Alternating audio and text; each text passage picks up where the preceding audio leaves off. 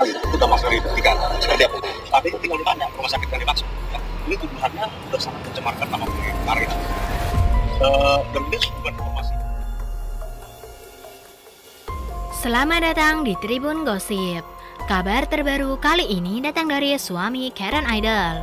Tapi sebelum lanjut, klik tombol subscribe dan lonceng di bawah ini ya, supaya kalian bisa terus update info terbaru dari Tribun Gosip. Isu suami Karen Idol pernah dirawat di rumah sakit jiwa? Benarkah? Isu suami Karen Idol, Arya Satria Klaprot, pernah dirawat di rumah sakit jiwa mencuat di tengah kasus kematian anak mereka yang jatuh dari apartemen. Namun kuasa hukum Arya, Andreas Nahot Silitonga, menyanggah kabar tersebut. Menurutnya, tuduhan tak berdasar ini sudah masuk kategori pencemaran nama baik. Tidak benar itu, gampang sekali. Artinya bisa ditanya rumah sakit yang dimaksud. Ini tuduhannya sudah mencemarkan nama baik Arya dan ini informasi yang sulit didapat. Kata Andreas saat ditemui di kawasan Tendean, Jakarta Selatan, Kamis 20 Februari 2020.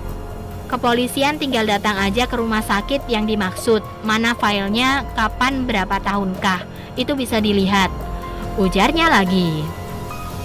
Andreas menilai kabar tersebut sudah begitu menyudutkan Arya. Langkah hukum pun bisa ditempuh bila isu tersebut sudah sangat berdampak buruk pada kliennya. Ini bahayanya kalau itu tidak terbukti, itu ada konsekuensi hukumnya dan itu menjadi hak yang dirugikan untuk mengambil langkah hukum, katanya. Namun sampai saat ini tim kuasa hukum Arya belum berencana untuk melaporkan pihak yang menyatakan pernah dirawat di rumah sakit jiwa.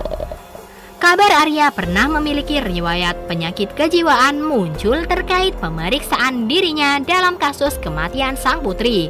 Karen yang disinggung soal itu pun tidak membantahnya. Saya pernah melontarkan statement itu. Saya tidak akan melemparkan statement kalau itu tidak benar ya. Kata Karen kala itu. Diberitakan sebelumnya, Zevania Karina meninggal setelah terjatuh dari apartemen yang ditempati Arya. Curiga ada yang tidak beres, Karen ajukan permohonan otopsi terhadap jenazah Zevania untuk mengungkap penyebab kematian anaknya itu.